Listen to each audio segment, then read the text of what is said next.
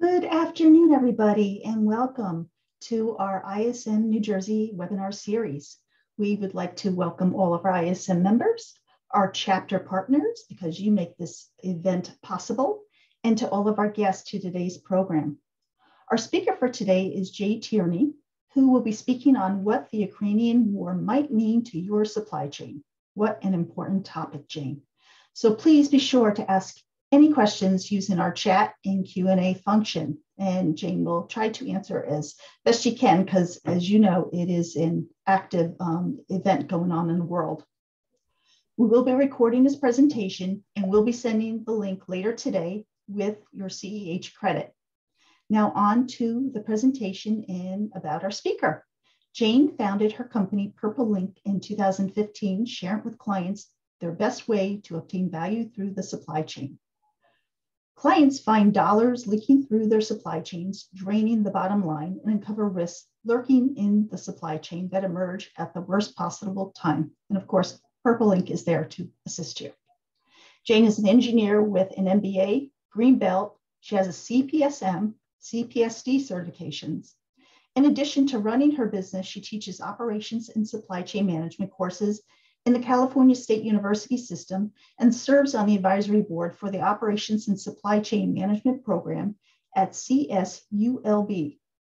In 2020, she co founded the Southern California SCRM Council for Local Executives, focused on supply chain risk management, which hosts an annual supply chain risk symposium. Jane is a speaker and author and she offers a bi-monthly dynamic dialogue webinar program I'm sure most of the people on this call would be interested in, and conducts workshops on a variety of topics. Her first book is due out this year. I'm not sure if it's been published yet, but I did want to mention that. So at this point, I'd like to turn the stage over to our speaker, Jane. Thanks, Kathy. And thanks to ISM New Jersey for the opportunity to, to share some insights today about what's going on with the Ukrainian war and how that might affect all of us thousands of miles away here in the United States. Um, everywhere you look, there's blasts, updates about this invasion of Ukraine, whether or not it's a war. But when I look at it, I don't know another word to call it except for a war. And a lot of people think, well, that's distant from us. We really don't have that much involvement. But I'm going to talk about some of the companies that are involved with this and what's going on. And we're going to look at why you might want to reconsider that and pay a little bit more attention. So, what we're going to do today is I'm going to talk about the current state. I'm going to spend um, a, a significant amount of time just looking at what's going on with the different companies doing business in the Russia and the Belarus areas. Talk to you about why this matters, give you a little insights about implications and effects that are what we're seeing now and then that we might see possibly in the future. And at the end, as always, I'm going to give away some prizes. So if you want to be part of the raffle, you need to send me an email right now to jane at purplelink.co. Maybe Kathy, you could put that into the chat and just put ISM for or webinar for the subject. You don't have to put anything else in the body of that and just send me an email. Then at the end, I'll do a little random number generation, pick a winner and give away some prizes. Uh, as a spoiling my own um, ending here, I do give away the slides, but I'll need an email in order to do that. So if you send me, if you participate in the raffle, you will also get a copy of the slides from this presentation. And as you know, Kathy tapes it and it'll be available there too. So um, that's what we'll do and I'll give away prizes at the end. So we know that in mid-February, Russia invaded the Ukraine.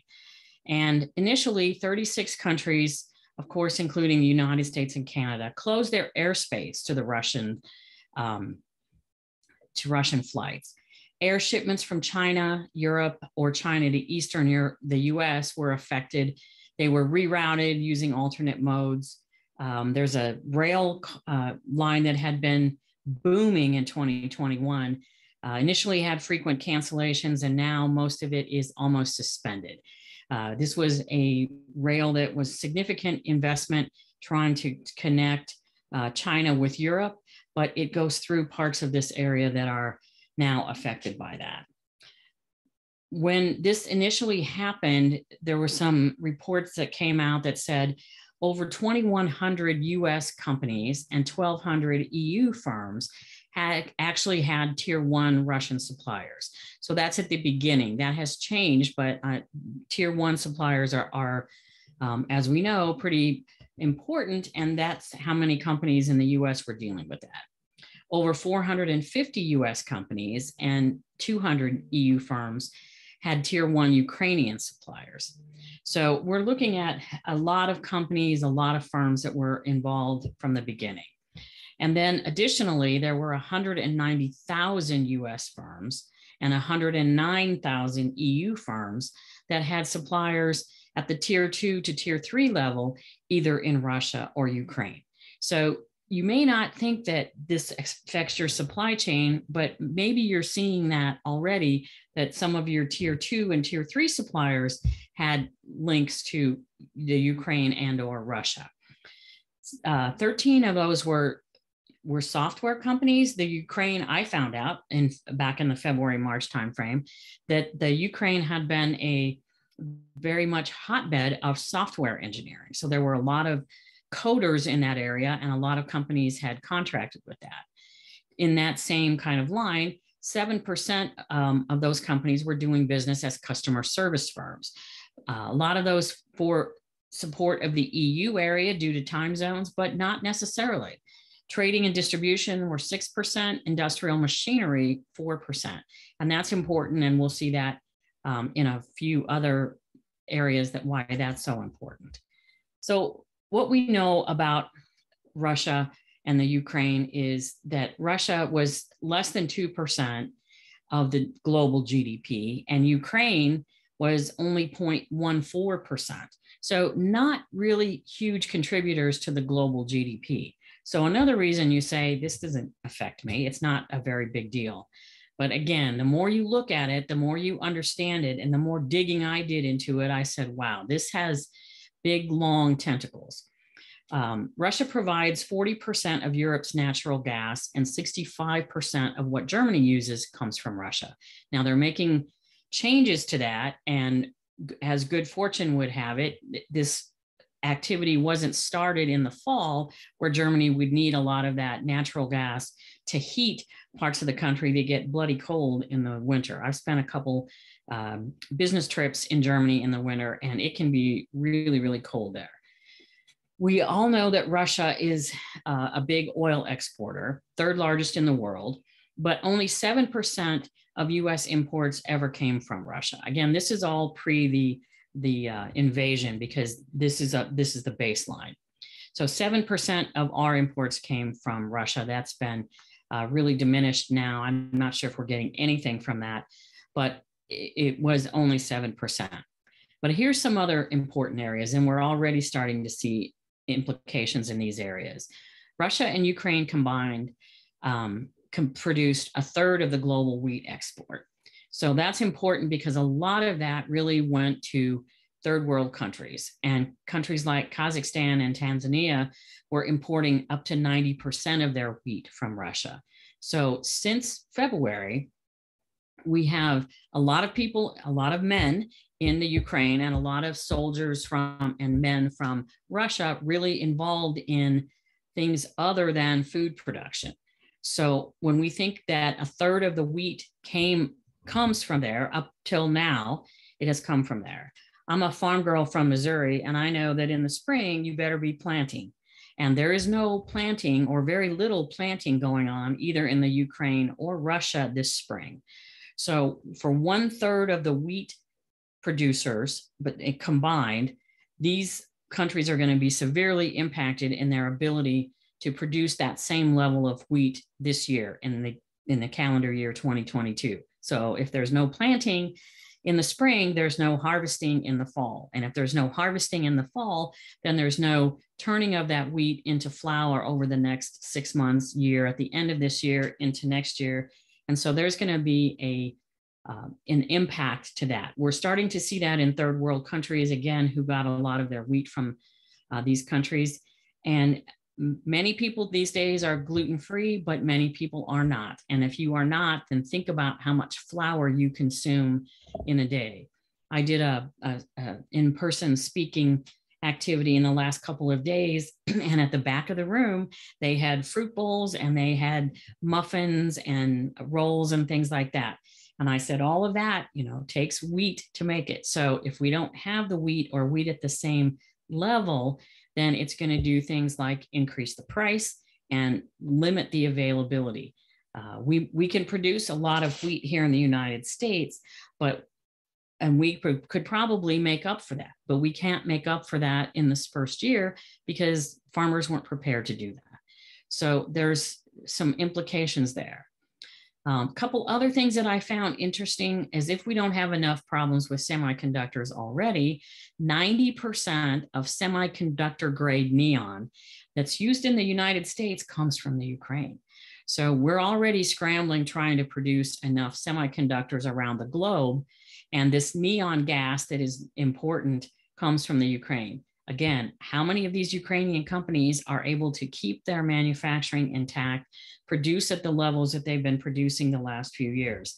It's becoming a moving number of cities that are involved with these skirmishes and versus being totally wiped out in some cases. So we have problems now. We're going to have continued problems from things like that. Russia produces um, over 33% of the palladium used in the United States. Again, a semiconductor component. We have problems with semiconductors already. We're going to continue to have those. And then Russia has been a dominant exporter of nickel and titanium, which includes titanium forgings, for many, many years.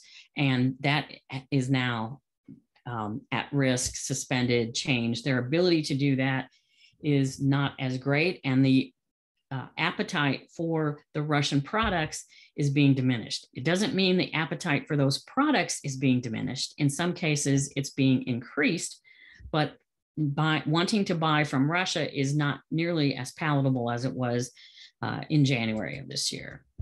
So these are some companies that have cut ties with Russia, and these were some of the initial companies that announced things that they were doing. So I'm not going to go through all of these, but I'm going to pick out a few of those. Um, GM was suspending external products. They sell about 3,000 cars a year there, but they also sell spare parts and maintenance and things like that. About 10 automakers suspended their business in Russia initially. Some shut the factories indefinitely. And what I'm finding is a lot of companies have suspended activity, which means they're leaving the door open to per, perchance, perhaps, be able to go back and reignite that commerce at some point in time. Others have just exited and said, We're done, we're out, we're not coming back. Um, there's a lot of different things going on. Dell, which produces a lot of computers, is not selling products uh, into Russia, and they weren't selling products into the Ukraine either. That might have changed recently, but I wasn't able to confirm that. Um, Harley Davidson motorcycles, uh, not exporting those any longer. Meta, which is Facebook, was blocking Facebook ads with, with both the Ukraine and Russia. They have taken some additional activities now. Um, Uber really had a uh, joint kind of a joint venture with Yandex, uh, uh, Yandex Taxi, and they're diversing that diversing divesting themselves i'm sorry um, from that and they've recently sped that up. They're really trying to get out of there more quickly than ever. Philip morris suspended planned investments and has reduced their manufacturing. So philip morris is a big producer of things like cigarettes and so that's uh, uh, affecting the, the russian population. Nike has closed their russian stores maybe temporarily, maybe forever. Again, they're leaving the door open, but in very quickly in March, they closed those stores. Um, Unilever, who produces Dove and Sunsilk brands, a lot of soap and, and self care products, they've suspended their imports and their exports. American Express uh, immediately suspended ops in Russia and Belarus, and that's still in place. Goldman Sachs, which was the first large bank to really exit already reported about a $300 million loss in Q1 and Q2 is to be determined. So you're going to see a theme in some of these, but I think it's important to kind of reinforce that. There are companies who are saying that we're continuing business, but only on an essential basis. Uh, among those is IKEA, who has suspended both imports and exports, but has remained open in certain major shopping centers because they've say, said they want to ensure customers have access to essential products. So for the time being, that's what they're doing with these major shopping center stores being open with essential items. Nestle has suspended a lot of their sales. Um, coffee, Nestle makes lots and lots of things. They make pet food, they make coffee, they make candies like Kit Kat, and they make things like Nesquik. So they make a lot of those things. They've halted all imports and exports, all the advertising, and all investments into that company. At first, they just suspended some things. They were continuing to sell like pet food, which they said is an essential type thing. They are still providing like powdered milk and some uh, milk products and other food essentials. They've, they've continued that part of the business, but things like the candy that they initially were continuing, they are now suspending all of that or stopping that. In um, terms of energy, BP, British Petroleum, wrote off it, uh, $25.5 billion for investments and work they were doing in Russia. The one of the write-ups says it's only a paper loss, but still a paper loss is something that investors look at and that the company looks at overall. They are also selling off their 20% stake in Rosneft, which is a energy company in Russia. Exxon has ended their oil and natural gas projects that were going on there. Shell is exiting a joint venture um, with of natural gas and they expected a four to five billion dollar cost hit, hit in Q1. So we all know we're paying incredible prices at the pump. There's a reason for that, and it's not just the incredible profits they're reporting. It's trying to offset some of these activities. Um, food, and I'll talk some more about some different food companies, but um, Mondelez International, who makes things like Oreos, Ritz crackers, Cadbury candies, they um, are only sending essentials into to Russia because I guess all of us consider Oreos an essential part. Uh, I'm not sure what they're doing now, but that's initially what they did is they they reduced the numbers of products that they were producing there, and um, will continue to to lower that in, in as far as the the um, activity I've seen. So here's some companies that initially didn't really cut ties but now they're changing that. So we've been doing this since February, March timeframe, and it's now the middle of June. So we've had from February to June about four months of seeing what's going on in the Ukraine.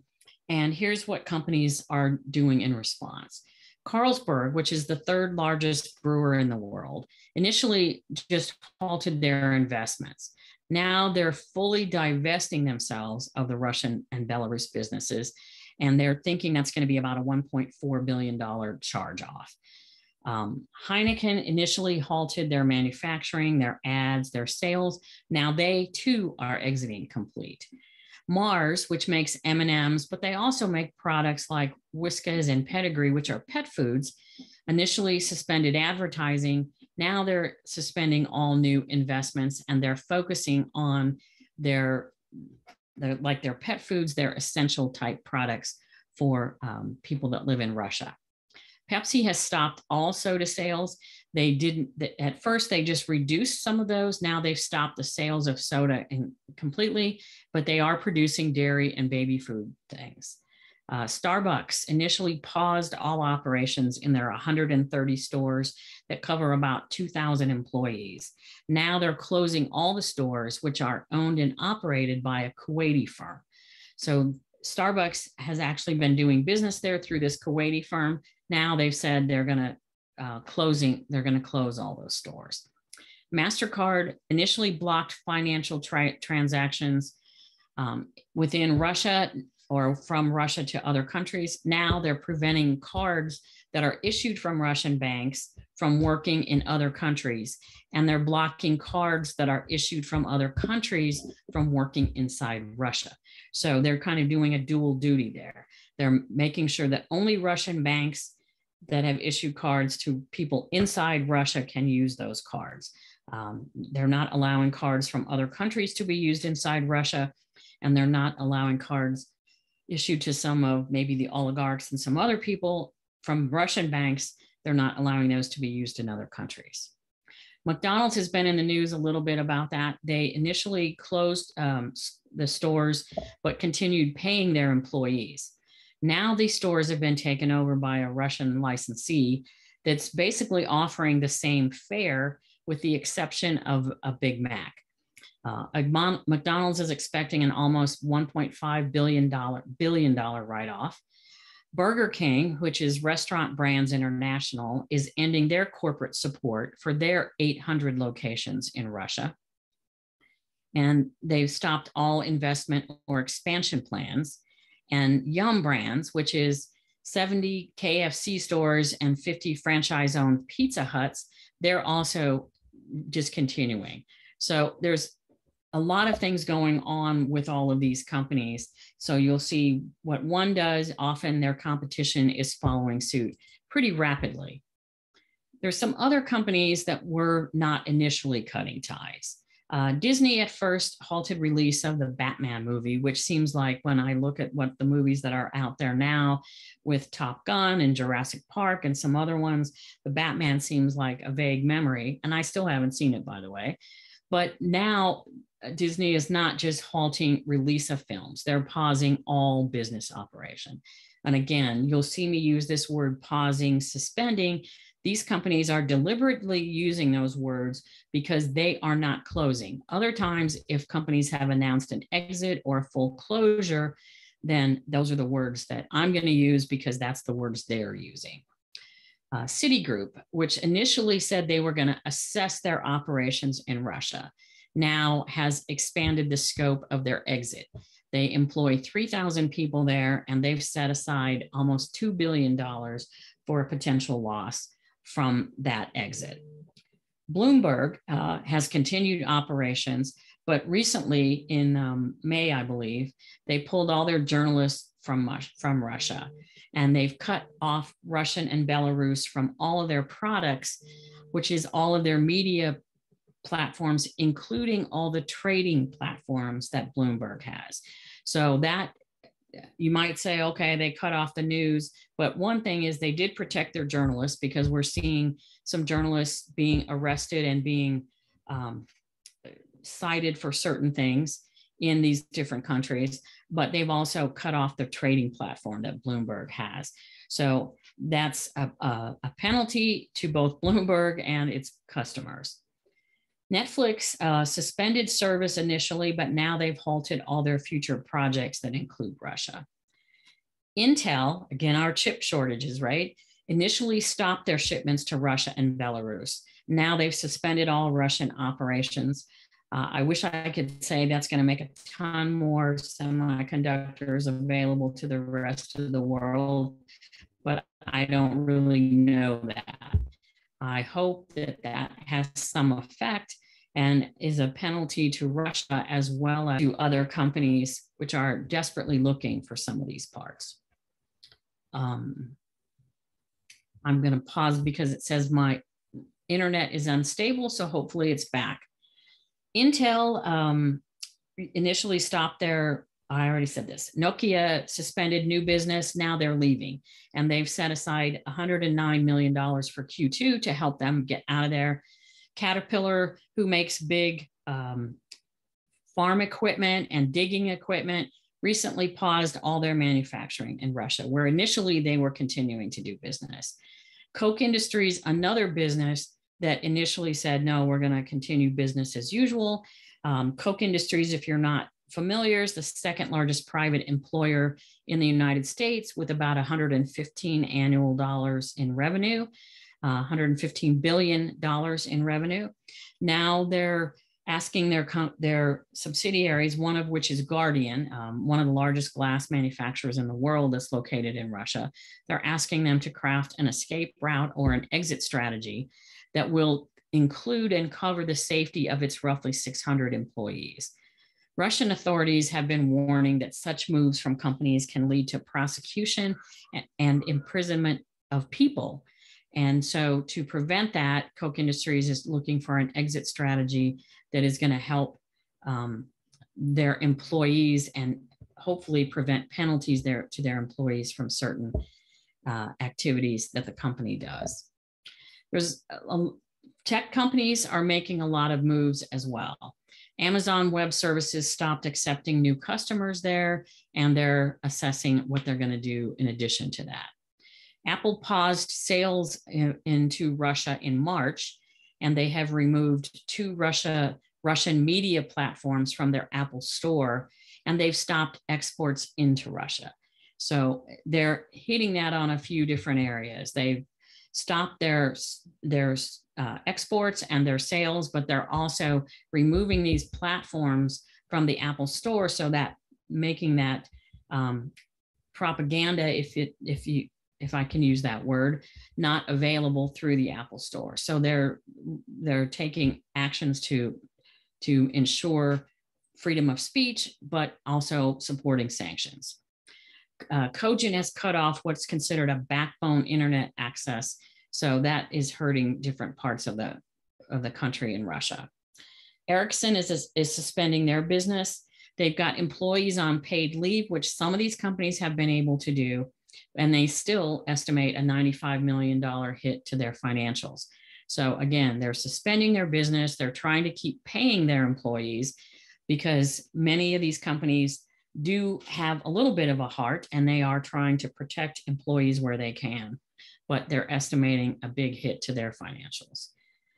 Google has suspended advertising on their search engine and their YouTube channels, and YouTube uh, has blocked channels associated with any state funded Russian media. IBM suspended business indefinitely. Sony initially just suspended Russian operations. Now they've suspended all the software and hardware shipments, including PlayStation, stores um, products into and out of Russia. So they're closing those doors as well. For travel, we're seeing a lot of different activities there.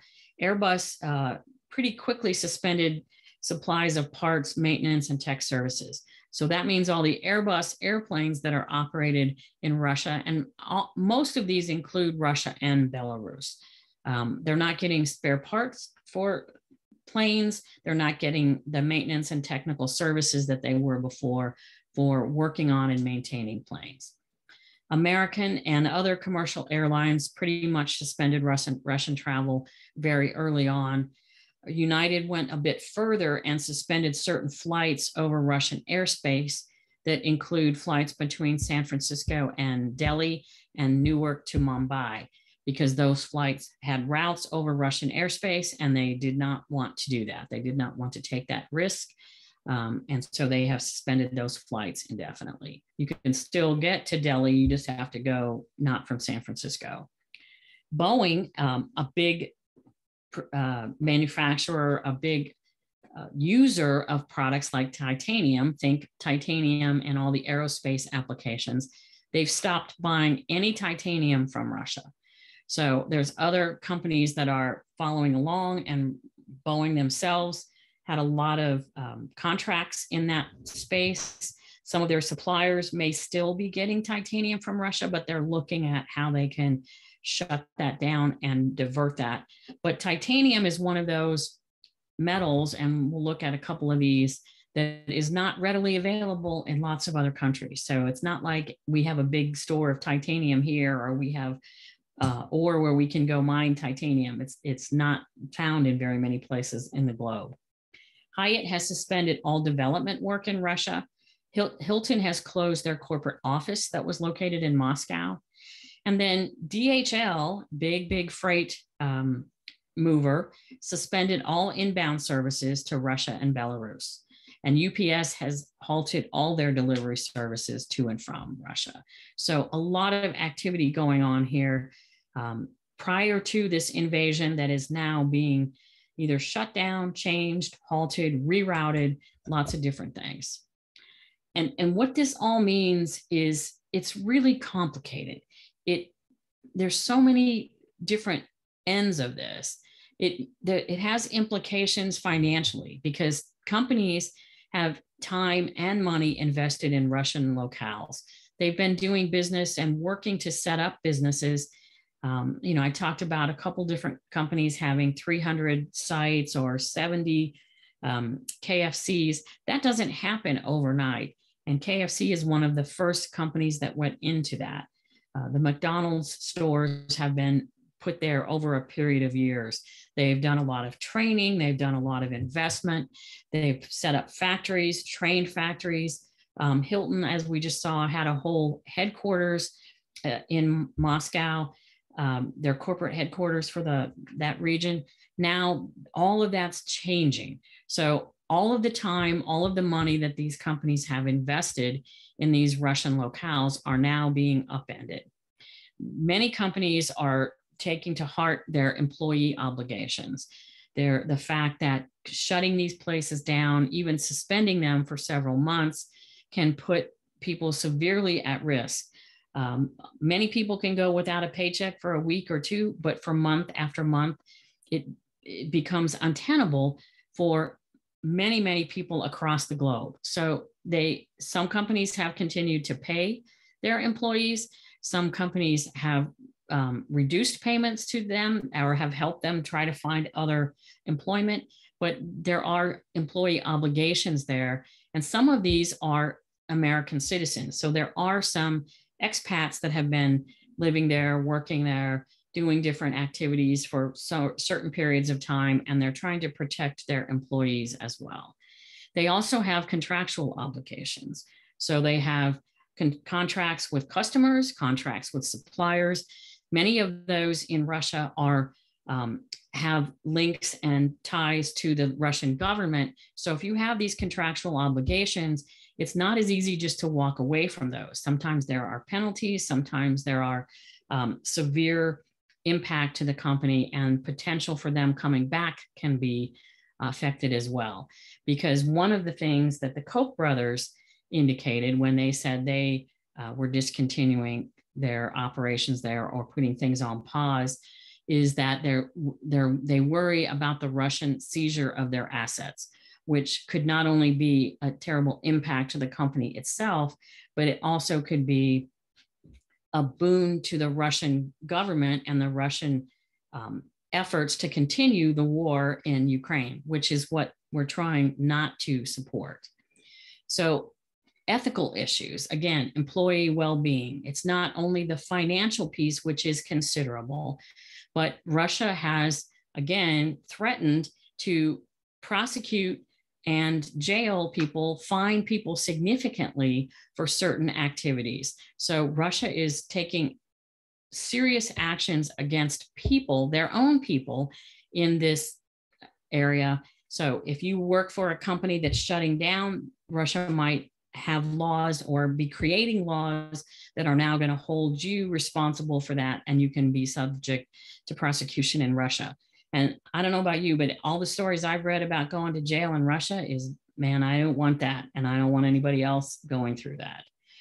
And also, companies are considering their place as a global citizen, corporate citizenship in this global playing field. So, the ethical issues there are if you continue to support and do business in Russia, what is that going to do to your customers outside of that area? Many, many countries in the Americas, in um, in Europe, and even in Asia and Aus- Austria, uh, Australia and New Zealand are looking at this and saying, people, consumers are saying, I'm going to make my decisions about what I buy from who based in part on how they're treating this situation. So companies don't want to get um, black eyes from their customers and potential customers by not being an ethical player in this whole thing. And the ethics gets very tricky because you're trying to take care of your business, you're trying to take care of people, and you're trying to take care of the future of both of those. So there's a lot of issues there.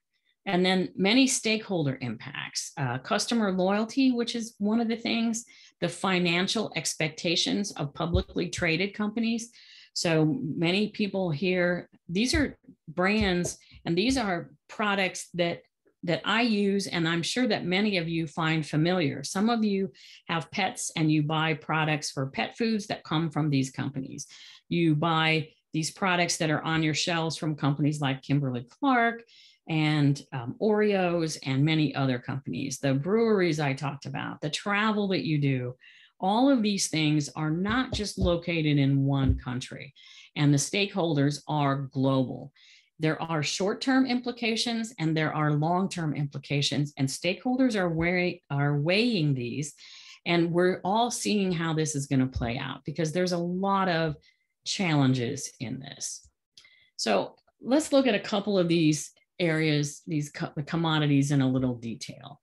Automobiles. Um, we all know we've seen incredibly increased gas prices. Um, and that's driving some interest in fuel efficient vehicles, but those are expensive. And if you're looking at the price as being increased, then maybe that doesn't make that as attractive. Um, again, there's lots of reasons for that. Um, and we see these companies that are publicly traded now uh, posting record profits, which um, I can't understand why they don't uh, bite that bullet a little bit. But there's um, states and, and localities uh, considering suspending state and um, other gas taxes for some period of time. There was some activity in Congress about these windfall profits that didn't seem to go anywhere, but that might get resurrected again, um, even though it was just talked about in the last few months. Um, there's been a boom in SUV and truck sales that um, led the auto manufacturers to decrease and discontinue their fuel efficient production levels. So companies like Toyota and GM and Ford and Honda and and all of the other companies are really trying to figure out what do people want do they want fuel efficiency? Do they want these bigger things? It's been hard to figure out. Um, and they haven't done a good job in projecting and that was one of the contributors and it still is one of the contributors to why we have issues with semiconductors because the car companies made some errors in forecast significant errors in the 2020 late 2020 kind of time frame going into 2021 that caused some of these issues that we still haven't been able to recover from. So there's challenges there. Um, auto execs seem to be really bullish on these electric vehicles, but the inventory is scarce and the availability of recharging stations is still not where it needs to be. And many, many cities, states, counties, um, are going to have to make significant investments in recharging stations to make those uh, readily available and make and encourage people uh, to actually make that investment in non-fuel vehicles. Um, again, there's an added impact to the chip shortages. We've seen reports that auto manufacturers are shipping their cars without all the um, chips in them, saying, you know, here's this, but guess what? Your um, your PlayStations and your DVR doesn't work, doesn't DVD player doesn't work in the back yet. When we get the chips, we'll give you notification. You can go into your dealer and they'll install those chips for free.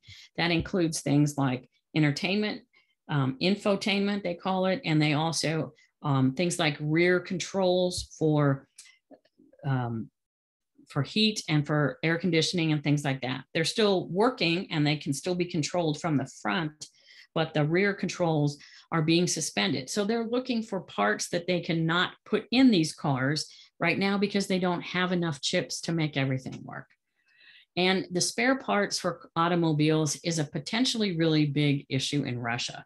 Um, I told you that GM was selling about 3,000 cars into Russia, but more and more cars were being sold from uh, manufacturers across the globe. And if these companies band together and don't send more repair parts into Russia and aren't producing those parts there, then that can have an effect on the Russian economy. So lots of things going on there. Energy and fuel impact, again, not much of our oil, 7% came from Russia in 2021. They're working to find other um, sources of that. So it's not a Russian oil sole reason for the pricing of gas. Um, Saudi Arabia uh, is being enlisted to do that, but the price of oil has gone up and it's come down per barrel. So it's equivalent in some cases to what it was. I've seen several different things um, where they're comparing the price 10 years ago of oil to to what it is now, but the price of gas is like $2 different. So I don't know. I don't understand all this. And if economists do, then they're way ahead of me.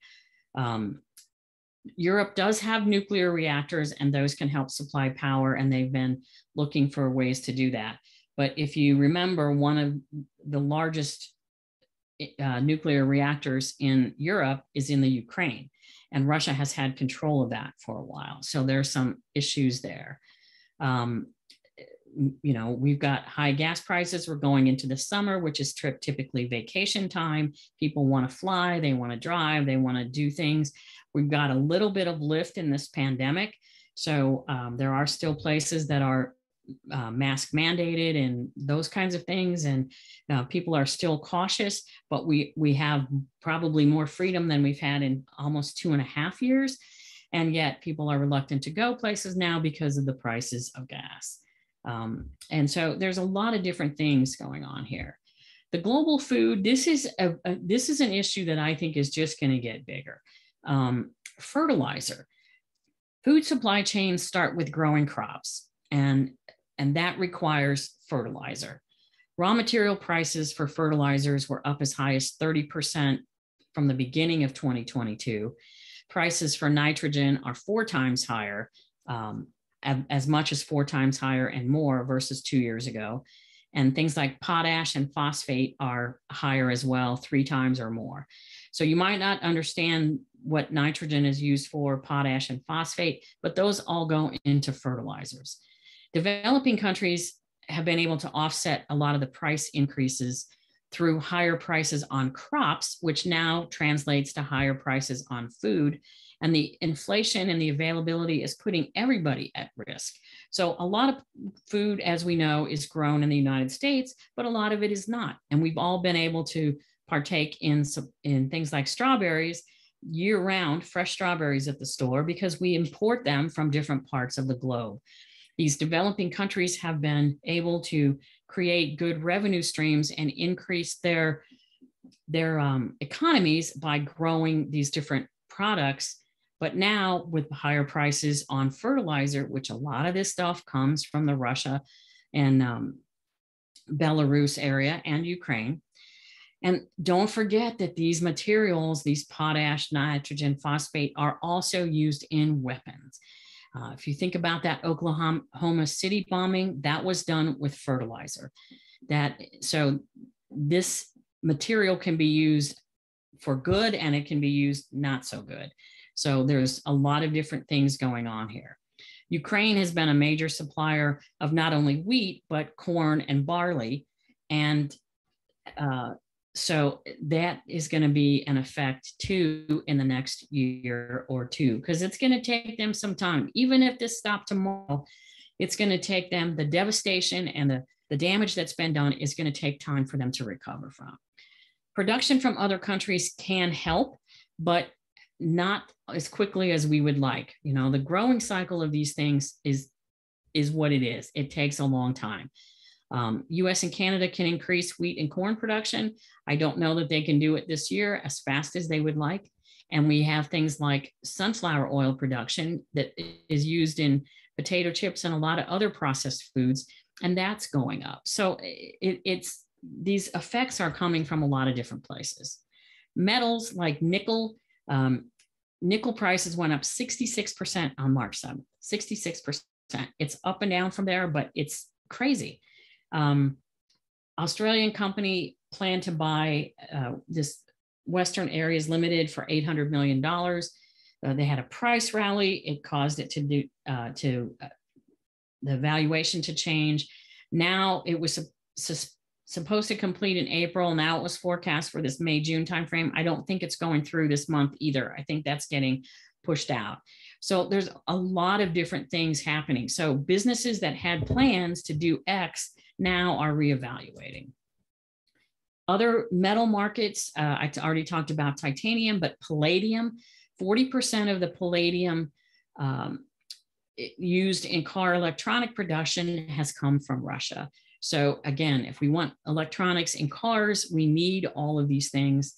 Copper um, is, is large reserves of copper in Russia. Copper is available in other parts of the world, including here in the United States, but there are other things like platinum that have not so many alternatives.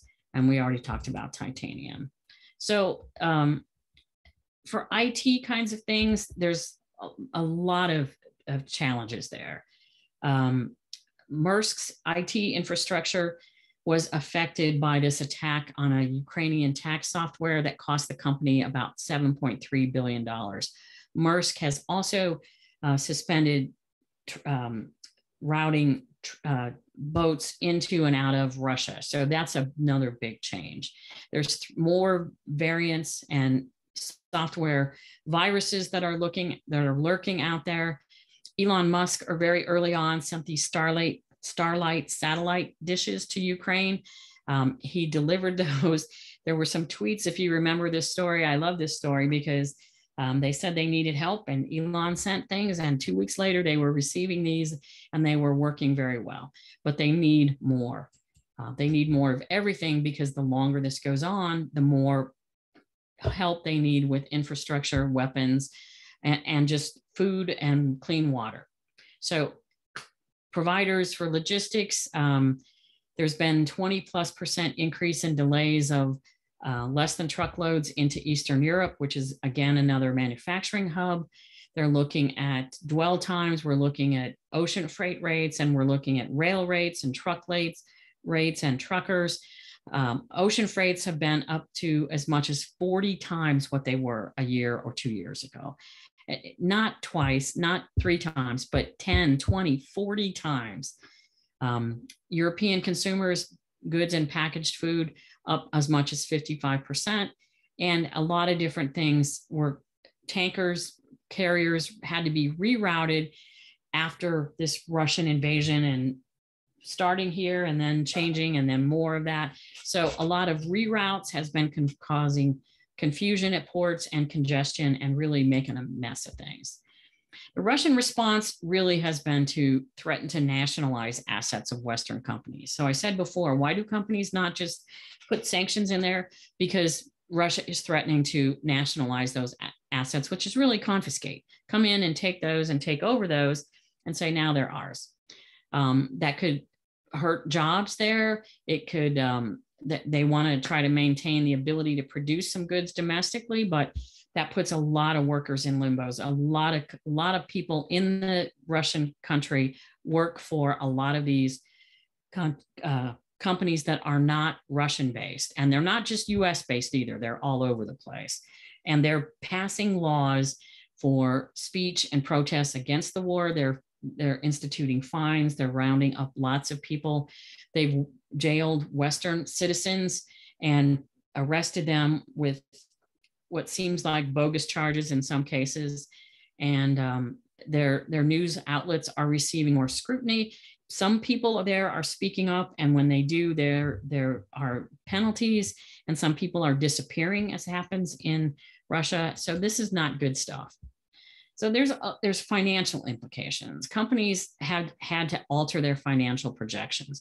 It costs money to exit from Russia. None of that was budgeted. And when they put their budgets together at the end of 2021, the worst thing they were thinking about is what's COVID going to do? Are we going to have another Delta or Omicron or whatever? Nobody really planned that I know of, big companies, for what happens if Russia invades the Ukraine. So all of this is upending that. Projections were based on business as usual for the Russia and Ukraine, meaning all of the things that you get from there would still continue to be available in pretty much the same kinds of prices and we could sell into there as well. And so not only that, but there's still factoring in COVID issues. Some places are experiencing significant um, swells in COVID infections, and there's still a lot of consternation about how to deal with that. Political influences, heaven knows we are going crazy with political influences here, and that doesn't count what's going on in the rest of the world. So there's a lot of issues there. Companies are looking to balance their books. So they're changing up. Now we're in the sec, they're looking at the second half of 2022. They're trying to find revenue that's going to offset the closed sales channels that they've experienced from the first half of the year, either through um, the Ukrainian war, the Russian access, and the uh, COVID impacts. And they're trying to find revenue to offset their increased expenses from all these activities in suspending things in Russia, um, continuing to pay workers there with, with getting no revenue. So they're trying to figure out how they can be a viable business. And then then we have inflation and you say why do we have inflation well there's a lot of reasons not least of which is this activity that's affecting all these companies and these affect and these companies are trying to balance their own books with what they can do so these situations are changing daily and weekly the impacts are very far reaching the, the longer it continues, unfortunately, the more we learn about it, but we still don't know what's going to happen politically, economically, ethically. There's a lot of issues. And almost everyone was totally unprepared for this kind of risk. We keep talking about risk in supply chains, but I don't know how we, pre- we prepare for every scenario. So it's more important that you focus on the basics and try to do what you can to manage the risks you can identify look to make your supply chains flexible, um, responsive, agile. And with this wait and see mode, companies are getting off of that wait and see mode and taking actions, at least initially, but you don't know what's going to happen next. So, usually I have a, a, slide here that talks about a better way. But what I found, and ironically, I, this article was released today. Here's um, here's what's happening with these companies. So you get a sense of how much is involved. There initially after the Ukraine invasion in like the first part of March, there were a few dozen companies taking action. Now there's over a thousand companies that have completely curtailed operation in Russia. And these are not US companies, these are all over the world, but many of these companies that are not US companies are still familiar to you. I have not had time to put all this together. Um, but I will do that. And that's what's going to be my dynamic dialogue next week. So if you want that, I'll give you the link to that. Just so you can see, some companies, business as usual, some are delaying investment and development, some are reducing their operations, a lot are keeping their options open, and some are, are trying to break clean. So it's a myriad of things across the globe from these companies. So this is something that we're going to continue to see. There's a lot of challenges here.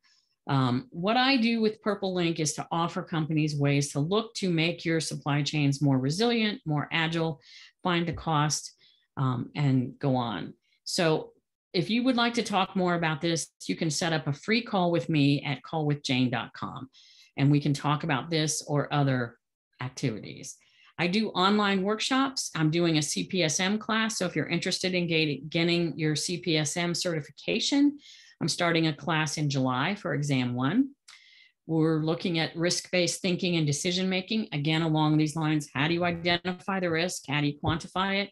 And then trying to make your supply chains more robust with lean and six sigma techniques a lot of lean a little bit of six sigma so that you can implement these things quickly i'm doing those um, at, the in q3 of this year so a lot of activities going on um, now, if you would like to, I'm going to give away the prizes. So I'm going to give you about one more minute to send me an email to jane at purplelink.co, no M on that. And then um, just put ISM or webinar or something in the subject line. And I'm going to count how many people did this. I'm going to take a quick look at the questions. Um, so yes, I will give you the slides if you send me an email. So you need to send me an email for that. Um, Kathy will share the recording. Um, we do have a question from George. Uh, okay. Roughly what percentage of Ukraine's economy is still operating? You know, that is a great question, George, and I do not have an answer, but I can get you that answer. Thank you. so why don't you send me an, an, email with that question in it and I will get that for you. So I don't. Oh, def- definitely. Definitely. And Kathy, I think there's one for you about the certificates. Yes, yes. And what I'll do is I'll uh, contact you directly. And uh, but just so everybody knows, we do send all of our certificates and a copy of the recording. We use our constant contacts, so please make sure that um, you know you allow that email address to come through that um, that platform to come through to your um, email. If you, for some reason, you're not getting um, copy of the certificate, contact me directly and I will make sure to uh, make sure you get it. But no worries.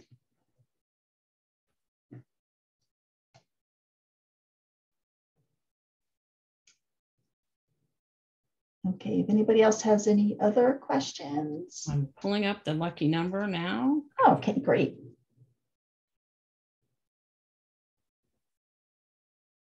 Okay, let's see who the winner is.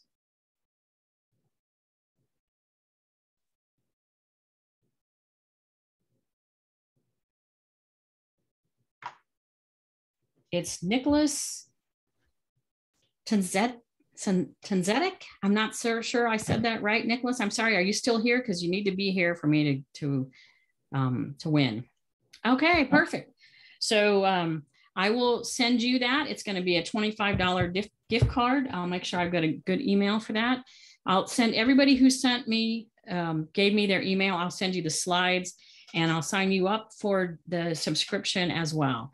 So I want to leave you with one um, couple of things because I've become a very big fan of Volodymyr Zelensky. And I first uh, was enthralled when I saw him that President Biden offered to send in um, access for him to exit the country so that he could remain safe, he and his family.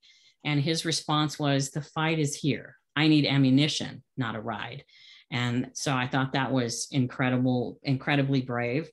And that was just one of his first things. The other told the other thing he told the Russians is if you come in, it will be our faces you see, not our backs. So we are going to fight until the end. And he is saying, um, I'm not iconic, Ukraine is iconic. And the more I learn about the country of Ukraine and the history, it's really pretty incredible. And I have a lot of respect for all of those people. I have a lot of sympathy for, I can't even imagine what it's like to wake up one day and find that someone has invaded your country um, with all of the things that were going on there and all of the activity and all of the commerce that has been going on there for decades. So I, I think this is an important time for all of us. I think they need our thoughts and prayers and help in a lot of ways. But I am uh, very much impressed with this guy. And as if you don't know, he was an actor and a comic and uh, thought by a lot of people not to be very serious, but I think he's proven that he's a very serious uh, man and he's very serious about his mission with Ukraine. So thank you very much, Kathy and ISM New Jersey for this opportunity. Um, I will take other questions if you have them. And if not, then um, I'll let you return back to your day. I do have one question. Given the migration of US business due to the Ukraine Russian conflict, what impact on terms of opportunities might that have on staffing businesses? And she um, also wants to know about your new book. Well, my book is coming way slower than I would like. So um, I'm going to work on that. It's the book is on supplier management and some techniques to try to get some um, better ways to work with suppliers. And it also applies to customers as well.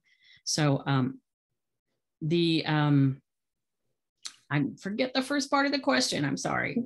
Given the migration of U.S. business due to the Ukraine-Russian conflict, what impact of terms of opportunities might that have on the staffing businesses? Well, I think these companies are, are not going to just bring everything home, whether again home is the U.S. or Germany or wherever the companies are located. They they want to be global companies. They're going to be looking for other sites. Um, I, I think it, it does create opportunities in other parts of the world and, and it creates opportunities in um, parts close to Russia and Ukraine. It might end up being a very good boon to Ukraine if they can get this settled and, and get, um, you know, stop the the the activity, stop the firing and, and the the decimating of cities, etc. But for Eastern Europe, there's a lot of potential there. The EU is, is taking action, and some other countries in the EU, um, Finland, Sweden, which you know have been historically reluctant to talk about joining the EU, now are looking to do that. So I think there is a lot of opportunity for other countries, and I think there's a lot of opportunities for these um, companies to find other places to do business, to rethink their strategies, and to try to come out with things that are going to be better um, in the short and midterm, as well as the long term for their businesses. But it's a pivot that nobody expected to take, and it's going to take some time to be able to make that pivot. And hopefully, they will do it thoughtfully and deliberately and not knee jerk, which sometimes companies do too much of, and then they they take an action and then three years later they say gosh you know this might not have been the right thing but now we're stuck here and so how do we deal with this? Thank you. Um, miriam i see that you have a hand up but i'm not sure if you have a question for jane or not. If you want to put something in the chat if if you want to ask your question live you can let us know that too.